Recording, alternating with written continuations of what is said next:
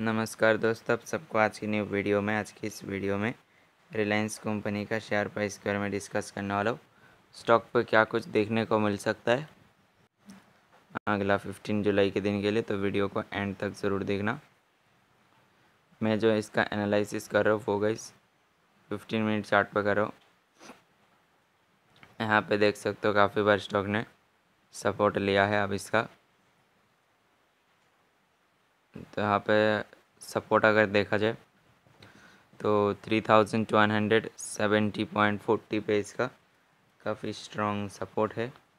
अगर देखा जाए रेजिस्टेंस को, सबसे पहला काफ़ी स्ट्रॉन्ग रेजिस्टेंस इसका फॉलो कर सकते हो, वो है three thousand two hundred seven point zero five पे है। अब इसका ब्रेकआउट आता है आप लोग इसका।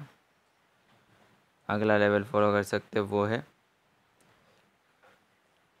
three thousand two hundred seventeen point ninety five जो इसका अगला रेजिस्टेंस है तो इस प्रकार से चला है।